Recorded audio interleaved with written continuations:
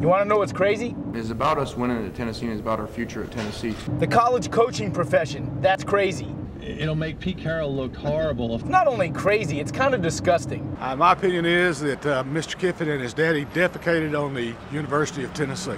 The fact that you can just pledge your allegiance to an entire campus, to the kids, to the faculty, to the fans. Like college sports is a business. In one fell swoop, you can just say, I'm out of here, baby.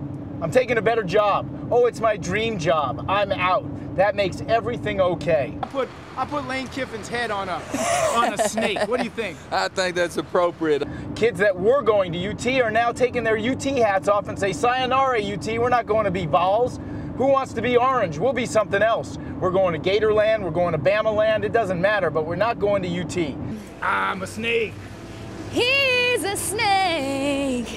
Lane Kiffin is the latest coach to take the money and run. He's a little worm, that's what I think. I guess you can't blame them. They're just padding their pockets. If the Smoky Mountains hit them in the ass on the way out. The rules allow coaches to do this. They're basically raping universities. They're holding universities hostage. Can't believe he did that. I mean, it's just been there a year. He got one good recruiting class in, and now he's gone. Bobby Petrino and Lane Kiffin and Pete Carroll, they're mercenaries with clipboards and wearing sneakers and roaming sidelines.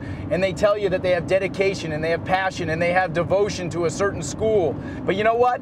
They only have devotion to the Benjamins, devotion to the dollars, because they pick up and leave in the middle of the night like thieves. He's slithering from Knoxville over to Trojan land, right? He's Oh, slithering yeah. his way over for the money. Yeah, oh yeah. They're kind of like John's paying off a whore. Leave the 20 bucks on the nightstand. That would be a lot easier for me to fathom. That'd be easier to stomach. You better take it from me. That boy is like a disease. I think coaches should be made to sit out a year. You know what? What's good for the kids should be good for the coach. If you're going to leave, sure, you can leave, but you got to sit out a year too. Let's see your options then, Coach O. Once again, the word I use is defecated.